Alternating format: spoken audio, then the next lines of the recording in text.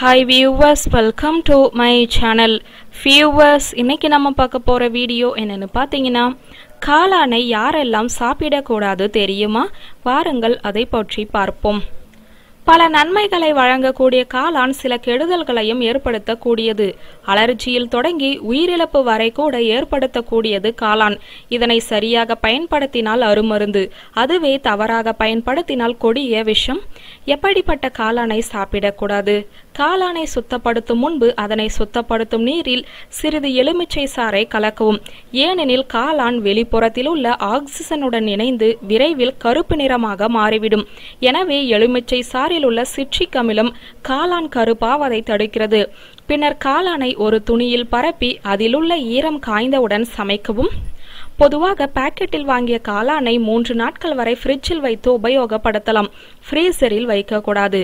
பாதி அளவு எடுத்து உபயோகப்படுத்திவிட்டு மறுநாள் மீதியை உபயோகப்படுத்தலாம். ஆனால் திறந்து வைக்கக்கூடாது. அப்படி செய்தால் காளான் கருத்துவிடும்.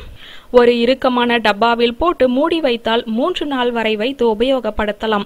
நறுக்கிய பிறகு கூட வைத்திருக்கலாம். சிறிது நிறம் மாறினால் பரவாயில்லை. ஆனால் பிசு பிசுப்பாக மாறினால் உபயோகப்படுத்தக்கூடாது. காளான் தாய்ப்பாலை வற்ற வைக்கும் தன்மை கொண்டதால் பாலூட்டும் பெண்கள் காளான் உண்பதை தவிர்ப்பது நல்லது. காளானில் பியூரின் சத்து இருப்பதால் கீழ்வாதம் உள்ளவர்கள் அதிகம் சேர்ப்பதை தவிர்க்க வேண்டும். அதேபோல காளானை நன்றாக சமைத்த பிறகே உணவில் சேர்த்து கொள்ள வேண்டும். காளானில் பியூரின் சத்து இருப்பதால் கீழ்வாதம் உள்ளவர்கள் அதிகம் சேர்ப்பதை தவிர்க்க வேண்டும்.